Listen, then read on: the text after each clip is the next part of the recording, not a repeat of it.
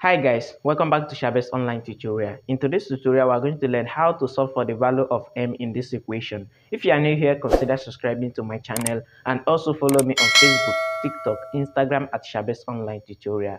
So the question given is 3m to the power of minus 2 is equal to 75 and we're asked to look for the value of m in this equation. So let's get started solution. So the first thing we're going to do is to rewrite the equation, which is 3m to the power of minus 2, which is equal to what? 75. So the next thing we're going to do is to divide through by 3 to eliminate this 3. So we're going to divide through by 3, so that this 3 is going to cancel out this 3. m to the power of minus 2 now will be equal to 75 divided by 3 is the same as what? 25. And in the left hand side, this m to the power of minus 2 can also be written as 1 over m to the power of positive 2.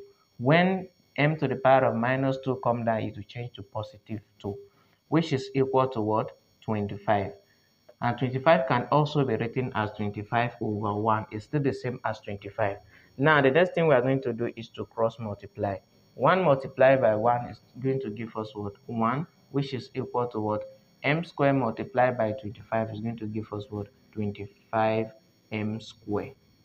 Now the next thing we are going to do is to divide through by the coefficient of m square which is 25 so i'm going to have what? 25 here and also 25 so that this 25 is going to cancel out this 25 then in the right hand side we are left with only m to the power of 2 which is equal to 1 over 25 now to eliminate this square, we are going to take the square root of both sides.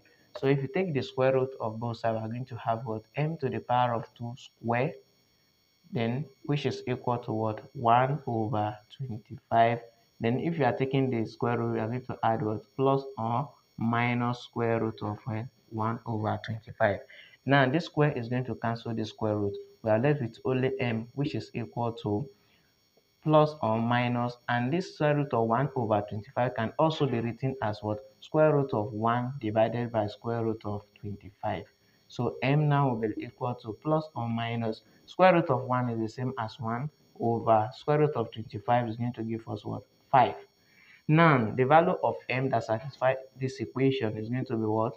Plus 1 over 5 or what? Minus 1 over 5 so this is the true value of m that satisfy this equation. Thanks for watching and please don't forget to subscribe to my YouTube channel. Also follow me on Facebook, TikTok, Instagram at Shabest Online Tutorial. Thanks.